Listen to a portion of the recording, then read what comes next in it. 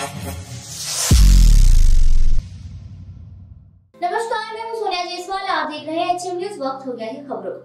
गुटखा, पान, मसाला व सुगंधित तंबाकू की बिक्री तथा निर्माण पर महाराष्ट्र सरकार द्वारा प्रतिबंध लगाया गया है। उसके बावजूद गुटखा माफिया धड़ल्ले से इसकी तस्करी व बिक्री कर रहे हैं। पिछले कई दिनों से पुलिस द्वारा कड़क कार्रवाई के बाद भी ये सिलसिला थमने का नाम नहीं ले रहा है। इसी तरह नारपोली पुलिस ने गुटखा से भरा टाटा टेंपो सहित पौने सात लाख रुपए का प्रतिबंधित गुटखा जब्त कर एक आरोपी को गिरफ़्तार कर लिया है। पुलिस द्वारा प्राप्त जानकारी के अनुसार नारपोली पुलिस को गुप्त सूचना मिली कि भिवंडी के मानकोली नाका रोड पर प्रतिबंधित गुटखा, पान मसाला व तंबाकू से भरा एक टाटा टेंपो आने वाला है। सूचना मिलते ही 9 नवंबर की शाम साढ़े पाँच बजे मानकोली नाका रोड पर पुलिस ने जाल बिछाया और मानकोली फ्लाईओवर के नीचे गुटखा से भरा टाटा टेंपो जब्त कर छह लाख इक्यासी हज़ार रूपए का प्रतिबंधित गुटखा व तंबाकू बरामद किया।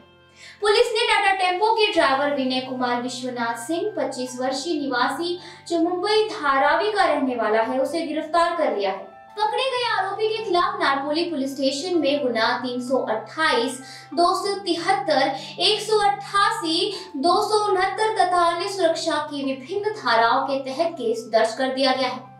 जिसके आगे की कार्रवाई पुलिस उप निरीक्षक रोहन एल शेलार कर रहे हैं। प्रतिबंधित गुटखा पान मसाला व सुगंधित तंबाकू पर पुलिस की हुई कार्रवाई से गुटखा माफियाओं में हड़कंप मच गया है।